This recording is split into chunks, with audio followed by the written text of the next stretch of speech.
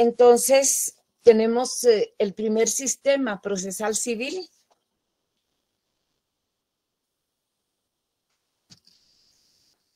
Mm, que fue el de la acción, la acción de las leyes, eh, o, que es el que se le llamó el de las eh, leyes acciones, o leyes acciones, o acción de las leyes.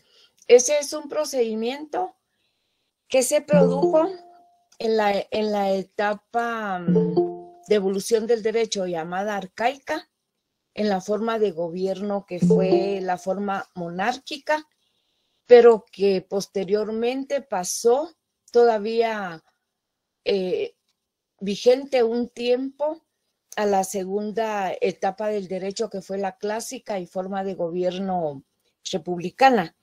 Ya dentro de la forma de gobierno republicana y etapa del derecho clásico, se desarrolla un nuevo sistema procesal civil que vino a, sustituir al anterior y es eh, el denominado sistema formulario o sistema per fórmula. Y eh, ya eh, a finales de la República se perfila un nuevo procedimiento civil que se llama eh, el sistema eh, de cognition extraordinario, o sea, conocimiento extraordinario.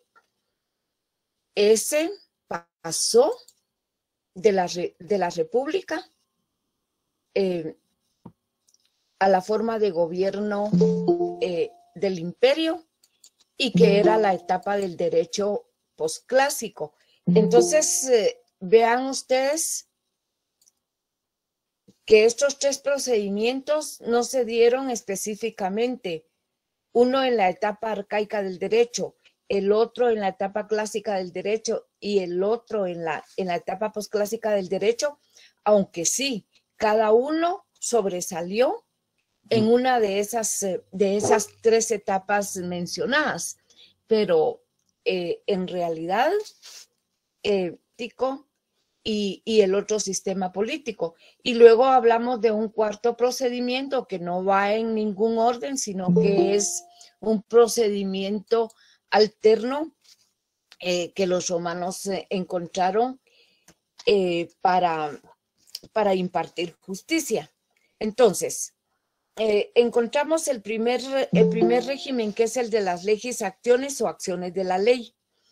Eh, es un procedimiento que también recibe el, nombre de, eh, de régimen de los términos sacramentales, porque realmente mm, había muchas declaraciones de carácter solemnes muchos gestos eh, rituales que el ordenamiento jurídico prescribe a los participantes en la defensa de sus derechos. Entonces, este es un procedimiento que estuvo vigente hasta el siglo segundo antes de Cristo, cuando fue sustituido por el siguiente sistema que yo les eh, eh, indicaba y que es el sistema, el sistema per fórmula o sistema formulario.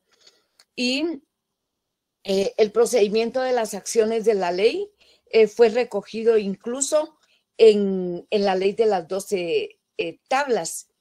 Y se recuerdan ustedes que habíamos hablado cuando le dimos tratamiento al tema de las acciones, que, en, que las acciones de la ley o las acciones de este sistema procedimental, que son las acciones de la ley, pues eran unas acciones sumamente sumamente violentas porque ah, recuérdense que cuando estamos hablando de este procedimiento es porque data del 753 antes de Cristo y con la fundación de Roma.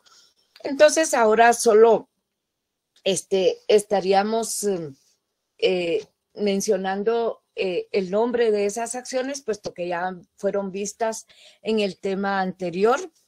Eh, la legis actio per sacramentum, Em, eh, las, eh, las por per judicis arbitrive postulationem y, las, y, la, y la ley exactio per conditionem. Entonces eh, está eh, la, la acción de la ley por, por sacramento, eh, la acción de la ley para postular a un, a un árbitro y, y, la acción de la ley por condición.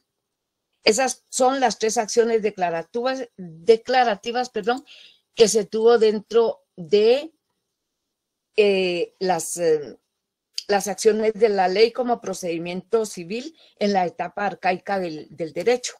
Por otro lado, eh, encontramos que también habían ciertas acciones ejecutivas que ya mencionamos que eran unas acciones sumamente violentas. Está la vanus siniectium,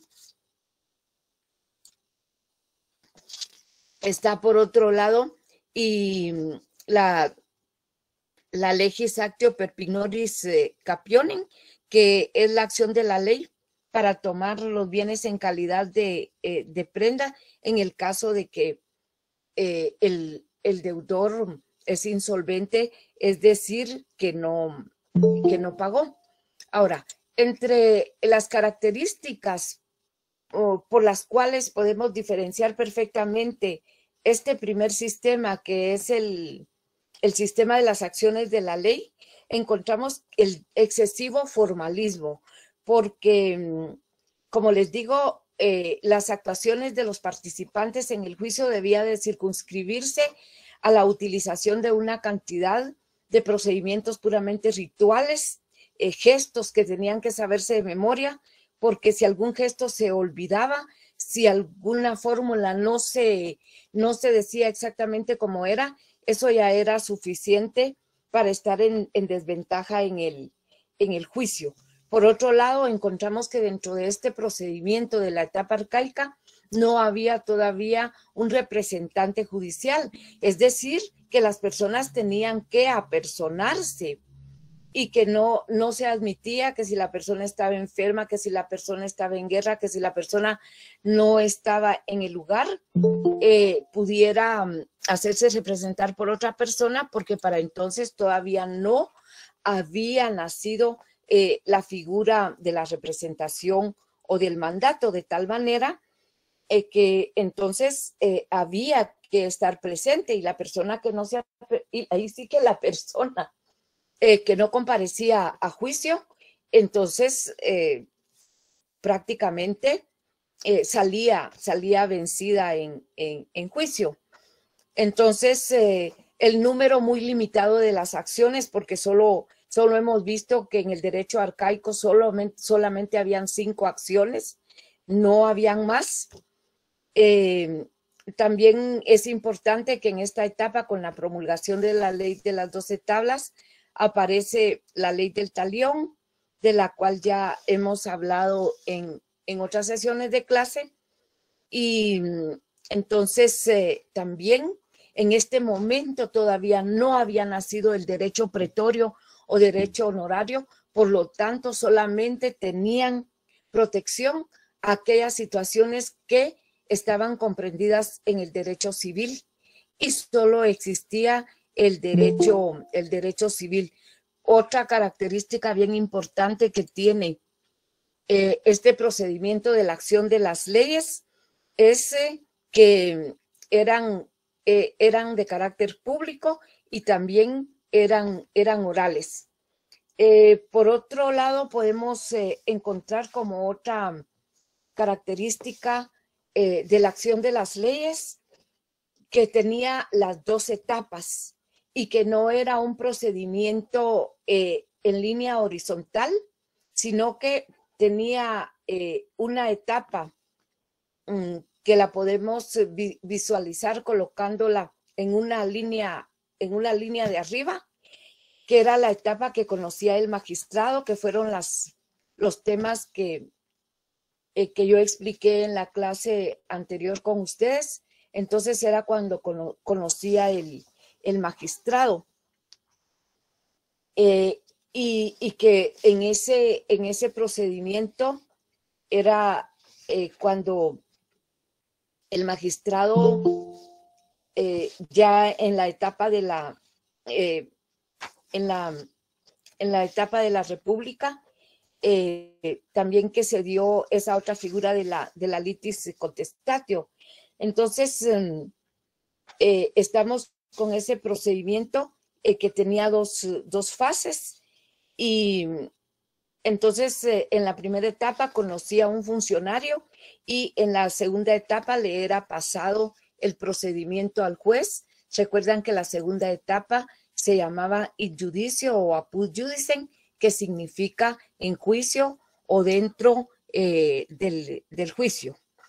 Entonces, em, em, este es el procedimiento de eh, la, ley, la legis actionis, que era el procedimiento llamado en español eh, de las acciones de la ley. Es un procedimiento que se produce en la primera etapa del derecho romano, que es la etapa arcaica. Por eso ven ustedes la importancia de que al principio en esta clase tuviéramos que ver las diferentes formas de gobierno que se dieron en las diferentes formas de gobierno que se dieron en, en Roma y también en las diferentes etapas que se sucedieron en, en la línea, en, la, en la, línea del, del tiempo. Entonces,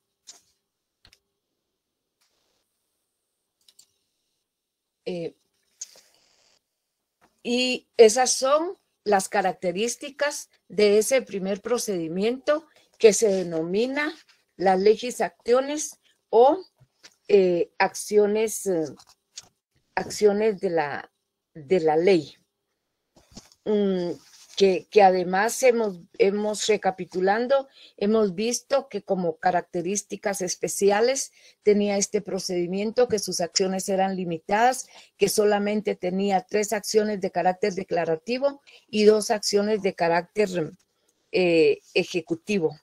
Eh, también que era eminentemente eh, solemne, mm, que tenía dos etapas, la etapa injure y la etapa mm, eh, o, o, o injudicio. Mm, características eh, importantes también eh, que el, el, juicio era público y eh, eso significa, y ustedes se recordarán, que los juicios se celebraban al aire libre, podía llegar la, persona que quisiera a observarlos.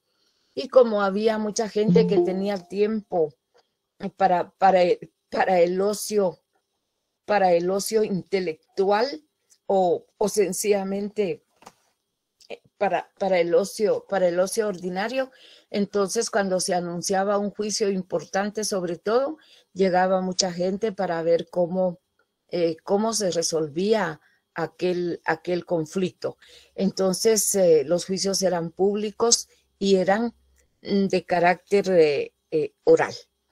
Quisiera saber si al respecto de, las, de las leyes, acciones o acciones de la ley, hay, alguna, hay alguna pregunta, porque si no, estaríamos, estaríamos pasando al, procedimiento formulario.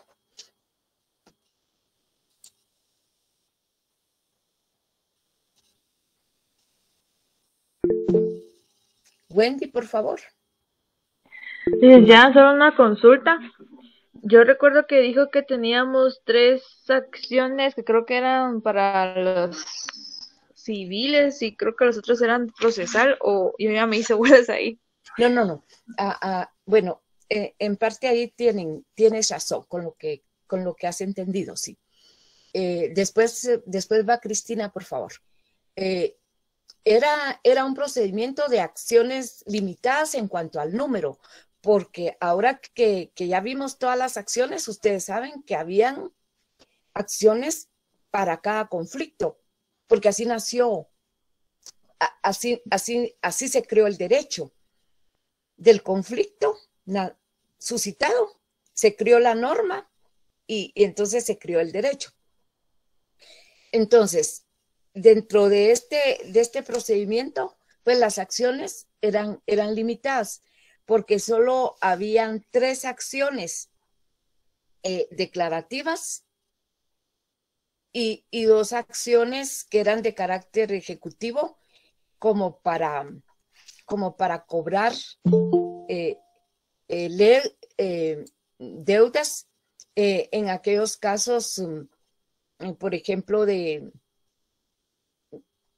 de deudas, de deudas dinerarias o cuando había una obligación eh, cierta o una cantidad líquida y exigible. Entonces, por eso se llaman acciones ejecutivas, porque ya son solamente para, para cobrar. Ya no se tiene que reconocer la existencia de una deuda porque eso es una cuestión que ya, que ya está reconocida. Bueno, entonces, eh, pero todas esas acciones son de carácter civil, todas, porque dentro de, del procedimiento de la acción de las leyes de la etapa arcaica del derecho romano, todavía no existía el derecho honorario o llamado también derecho pretorio, sino que solamente se regía por el derecho civil. Entonces, sí, todas son acciones también civiles. Pero lo que distingue al proceso en, en esta particularidad es que todavía no habían nacido todas las acciones, como con la abundancia que las vimos en las clases anteriores eh, y, que, y que todavía pues no las vimos todas, sino que para efectos didácticos yo seleccioné las más importantes y sobre todo que, son, que son ejercitadas mm, en, nuestro, en nuestra época también en el, en el derecho procesal guatemalteco. Em, ahí me están preguntando por la página, por favor, si alguien pudiera eh, ayudar. Vamos a ver aquí. Es el tema sistemas procesales procesales eh, civiles romanos. Iniciamos así. Muy bien. Eh, sí, estamos en 100, 132. Entonces, eh, Cristina, por favor, que tiene levantadita la mano. Buenas tardes, licenciada. Disculpe con una pregunta. ¿Cuál es, la diferencia de las acciones declarativas y las acciones ejecutivas? Bueno, porque, porque las acciones, las, de, las acciones declarativas, eh, si son simples, solo son para, mm, eh, para, para establecer o, o declarar la existencia de algo de, un hecho que, que, no se tiene que constituir, que no tiene que nacer porque es, es un, la declaración de un hecho ya existente. Como por ejemplo, eh, cuando eh, se reconoce la unión de hecho de dos personas, eh, que, en el derecho romano se llamaba concubinato y que en Guatemala se llama unión, unión de hecho. E, esa es una acción declarativa simple porque solo declara la existencia de hechos. Eh, también existen otra clase de acciones declarativas eh, que son aquellas que conocen eh, de obligaciones que una persona tiene, tiene que cumplir y, y, en esa acción se declara si una persona tiene obligación de pagar o por el contrario se declara eh, que una persona no tiene la obligación de pagar. Si se declara que tiene, por, eso depende de la prueba. Si, por, si fue probado en juicio que tiene que pagar, es una acción declarativa eh, condenatoria. Pero si se declara que no tiene que, pagar, entonces es una acción declarativa eh, de, de, absolver. Ahora, eh, las, las acciones, las acciones ejecutivas, ah, bueno, pero también hay algunas acciones eh, que, que, se llaman constitutivas y que son para adjudicar, propiedades a, una persona dentro de un, de un litigio o al final del litigio en la sentencia. Y las acciones ejecutivas son aquellas cuando ya se tiene reconocida la existencia del derecho y lo único que se está exigiendo es eh, el cumplimiento de una eh, obligación cierta y determinada, porque incluso ya se sabe hasta el monto y qué es lo que se va a, solicitar. Entonces, estas son acciones eh, que tenía el, derecho arcaico, esas, declarativas y también las acciones ejecutivas que se recuerdan que yo les conté que eran unas acciones muy violentas porque eh, eh, era, tenían hasta la posibilidad de encadenar al deudor, de reducirlo a la esclavitud, hasta, hasta de quitarle eh, la, vida. quisiera saber, Cristi, si, si ha quedado, ha quedado claro y, y si no, pues cualquier otra pregunta que tengan al respecto, con muchísimo gusto eh, voy complementando aquí la, explicación. Licenciada, disculpe una pregunta. Eh, o sea que las acciones, a pesar de ser civiles, estas se podrían convertir en penales o no por las acciones eh, ejecutivas. No, no, porque las, las acciones penales son las acciones que nacen por un delito pero una deuda no es un delito. Pero si, por ejemplo, una persona mm, eh, le quita la vida a, otra persona, entonces ahí hay una acción para perseguir a una persona eh, que, es, eh, es, una, que es una acción de carácter, de carácter penal. Y lo que se está buscando eh, es mm, que se le castigue, que se le imponga una pena por el delito cometido. El, problema que tenemos en el derecho romano es que eh, el derecho romano desarrolló en, en abundancia magistral y exquisitamente el derecho civil o derecho privado, pero el derecho público no, porque el derecho público estaba bien ligado al derecho privado de la persona y era muy difícil establecer la esfera pública de la esfera privada. Entonces, en esa etapa, las acciones públicas eran solamente cuando Roma era ofendida por una invasión o cuando le eran ofendidos sus, eh, eh, eh, toda su, su cultura y, y, y su derecho sacro o derecho sacramental, como los templos, las puertas de la ciudad, las murallas de la ciudad, eh, eh, todos los utensilios que se utilizaban para los ritos sagrados, eh, todos los templos que estaban dedicados a la, a la diversidad de, de, dioses. Entonces ahí sí entraba el Estado con una acción pública y una acción de carácter penal pero dentro del derecho privado, lo que, lo que estamos viendo son todas acciones eh, del, derecho civil. Ah, bueno, yo preguntaba porque como en las acciones ejecutivas dice que si no se encontraba a alguien que fuera el, el BINDEX, dice, no sé qué significa eso, pero dice que era vendido como esclavo. Entonces, por eso era mi pregunta. Y, y, también la Lex poetelia papiria, no sé qué significa. Esa abolió la ejecución personal. Y, entonces, em, y fíjense que fueron 335 antes de Cristo, porque este derecho represivo, tan represivo, tan violenta, era, era propio nada más de la etapa arcaica. Ya en adelante ha quedado, como en el derecho actual, que por deudas no hay prisión y salvo cuando se defrauda al fisco, ¿verdad? Que se creó una figura delictiva ahí, eh, un tanto, eh, un tanto discutida y, controversial, pero bueno, está.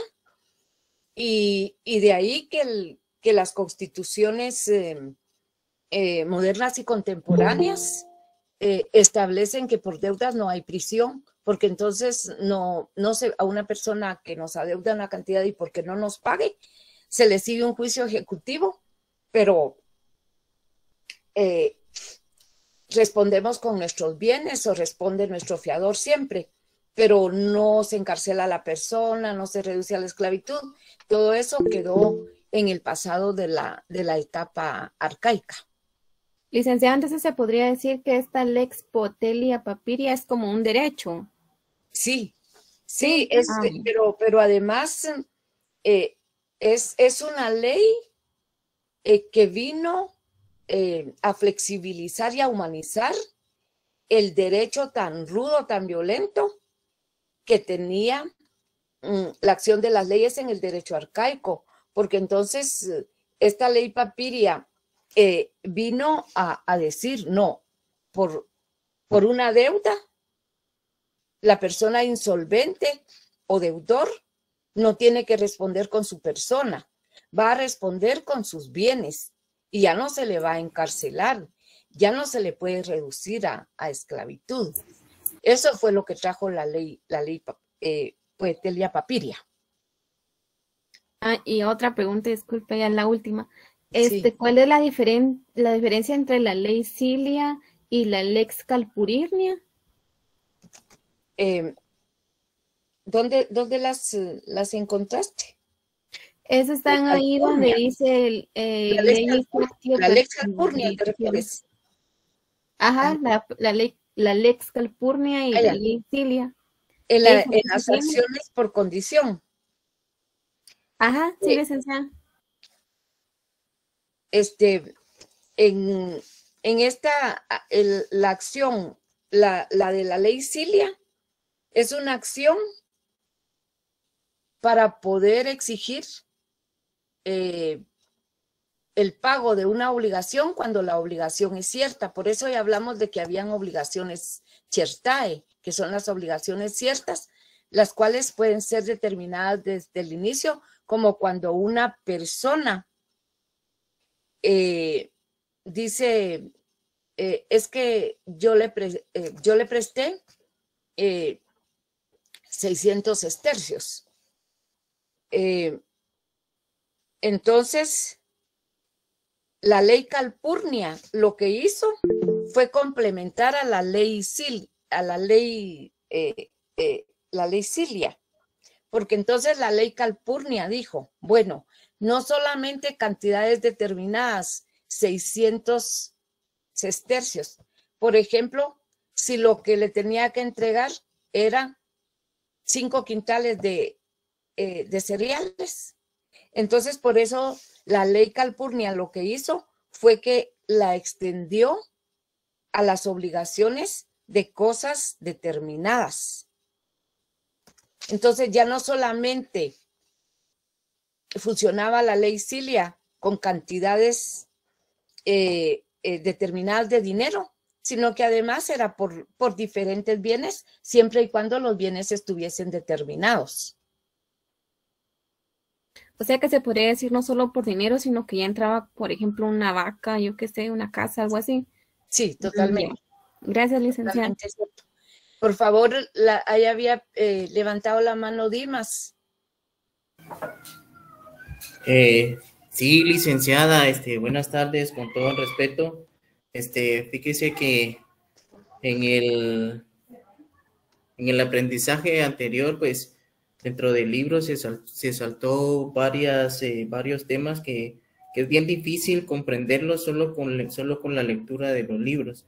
Entonces ahorita comencé y se volvió a saltar. Entonces, si usted por favor tuviera la, la amabilidad de, de comenzar desde la lección 4, porque 132 a la 133 como que a mi criterio o, en mi caso me cuesta. No es lo mismo que usted me explique a yo leer por, por el libro, si usted tuviera esa amabilidad. Eh, que, pero que yo me salté alguna lección. Que nos explicara la página 132.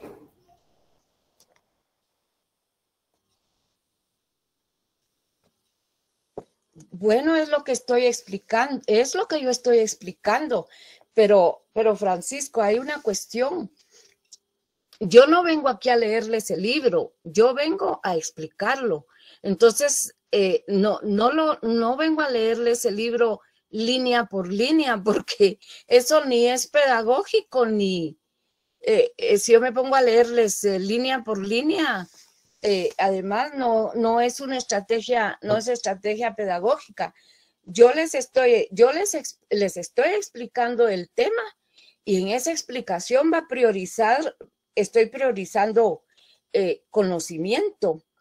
Y, y, entonces e, esto ya, yo ya se los, yo ya se los expliqué. Ahorita llevamos ya más de 20 minutos de clase y, y, y apenas, a ver, Vamos a ver. Y apenas estamos en dos, en dos páginas, en dos páginas del texto. Entonces sí, sí me cuesta, me cuesta realmente, me, cuesta realmente entender, em, entender ese punto de vista. Y, por otro lado, eh, también ustedes eh, tienen, que, tienen, que le, tienen que leer y si previamente, como, como se acostumbra en las universidades, ustedes leyeran el tema, entonces incluso ya traerían eh, con la, la, capacidad de poder, de poder preguntar. Entonces, eh, realmente, eso que tú estás diciendo ya lo, ya lo expliqué. Está bien, gracias. Bueno. Entonces, eh, eh, Cristi, estábamos contigo, ¿verdad? que eh, es, de esa manera funcionan las acciones dentro de este primer procedimiento que es la, la de la acción de, la, de la ley o las leyes acciones. Quisiera saber si hasta acá eh, está, está comprendido el, el tema de, y sobre todo de sus, de sus características.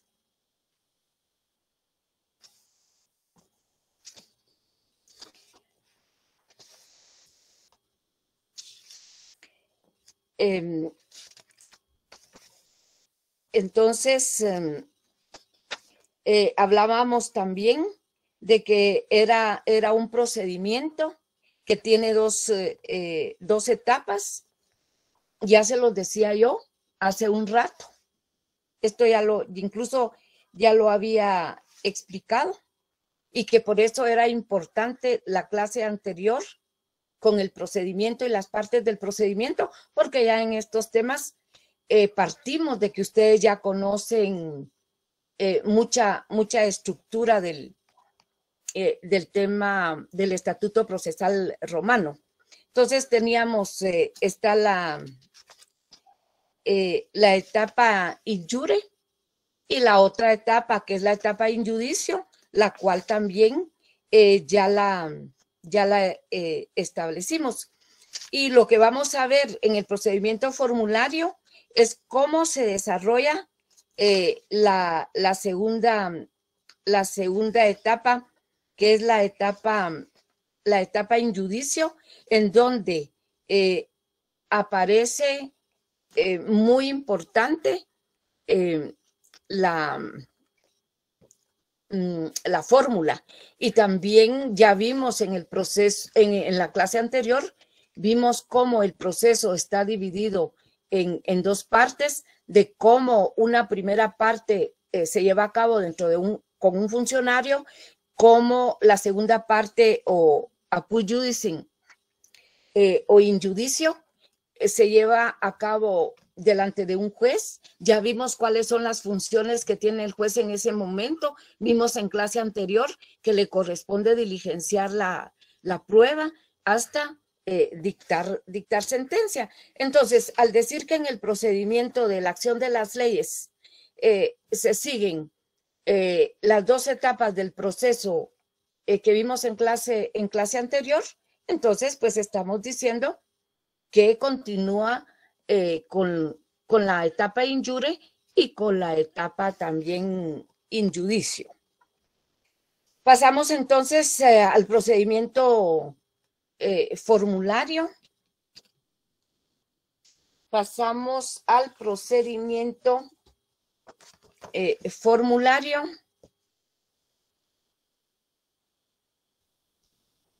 que también es el procedimiento que su nombre original es procedimiento per fórmula, que se traduce procedimiento por fórmula hoy, como le llamamos hoy, procedimiento formulario. Entonces, el procedimiento de las acciones de la ley eh, fue suficiente por un tiempo, pero el espíritu del derecho y, y un pueblo que tenía grandes eh, aspiraciones de carácter jurídico, pues eh, ese, ese modelo procesal se agotó. Eh, ya la ciudadanía romana desarrollaba un alto espíritu del, derecho, eh, con mayor claridad de los defectos que tenía el, sistema anterior. Hemos dicho que era sumamente violento, que era limitado en sus acciones, que por una equivocación simple se podía perder el, juicio. Y, entonces em, eh, ya eh, en, la, en, la, en la época todavía de la monarquía, aparece un siguiente sistema que es el sistema formulario, y pero que después pasó eh, a, la época eh, a la época de la, de la, de la República y de la época de la República se mantuvo hasta llegar todavía a una parte del imperio con el emperador todavía, con el emperador Diocleciano. Entonces, eh, pero el procedimiento formulario es tan importante que podemos decir hoy que eh, es el que contiene los mayores aportes de carácter procedimental de los cuales está construido el derecho procesal civil eh, actual y que aquí es en donde se da la verdadera creación eh, del, derecho romano. También recordemos, como lo expliqué en clases pasadas, que cuando mm, estaba la, etapa clásica del derecho en la etapa de la República, fue la etapa en donde mayor florecimiento tuvo, tuvo el, el derecho. Entonces, mm, eh, encontramos eh, que se llama sistema formulario debido eh, a la fórmula que redactaba en la instancia injure, es decir, en la primera instancia o en la primera etapa, en presencia de las partes procesales, que se dictaba aquella, aquella fórmula dentro de, aquella fase que en clase anterior le llamamos la litis contestatio. Y en un principio eh, fue también aplicado con carácter opcional, pero posteriormente eh, fue, fue ya eh, de, uso, de uso general. Entonces, dentro del sistema formulario se desarrolla el derecho clásico romano, que es lo que acabo de decir, y allí fue donde cobró máximo esplendor las instituciones sustantivas del derecho y también las procesales que se dan dentro de este, de este sistema. Mm, entre, entre las características que se, le, que, se, que se le asignan a este, a este derecho, eh, vean ustedes, fundamental, que se incorpora la institución del apoderado o procurador se le llamaba el procurator o cognitor, que podía representar a las partes. Se recuerdan que en el procedimiento anterior, el de la acción de las leyes, no había la figura del apoderado, del representante. La persona tenía que llegar por sí misma y si no llegaba, perdía el, juicio. Eh, también las fórmulas se caracterizaban por lo que se le llama su tipicidad. Eso significa que para cada conflicto que se presentaba ante los magistrados, entonces el magistrado, el, el magistrado redactaba una fórmula especial para ese caso que se presentaba.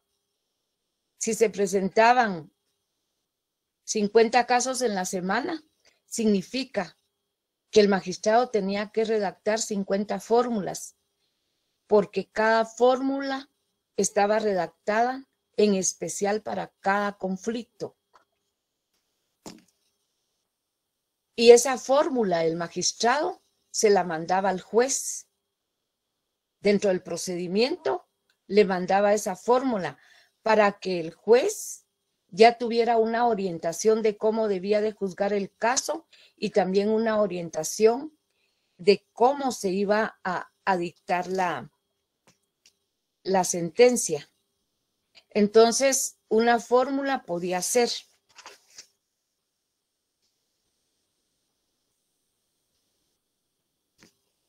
eh,